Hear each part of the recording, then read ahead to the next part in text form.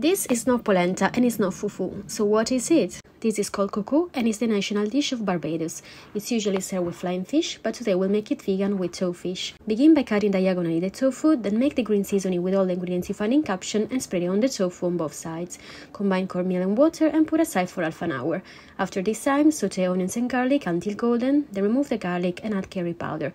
Cook for a minute, then mix in thyme, chives, tomatoes, pepper, water and bring to a simmer.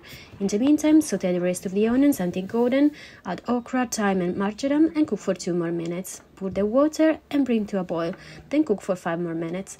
In another pan, place the cornmeal, stir and then slowly start to add the okra onion water until it finishes. Cook for about 10 minutes, stirring constantly, then adjust with salt and pepper and mix with some vegan butter. At this point, the tomato pepper sauce will have started to simmer, add the tofu with its marinade and cook for 5 minutes per side. Serve with extra parsley and enjoy!